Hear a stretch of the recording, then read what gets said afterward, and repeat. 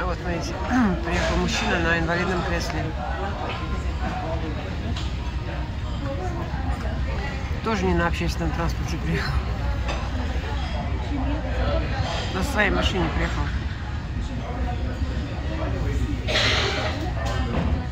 То есть у него есть деньги на лекарства, на это вот кресло, да? Сходить просто в кафе, позавтракать. Пенсионер американский. А где бы он сидел в России, скажите? Наверное, сидел сейчас бы в Орске на крыше, да? А вы бы подплывали бы на резиновой лодке, чтобы вывести последнюю хорошую часть его мебели, да?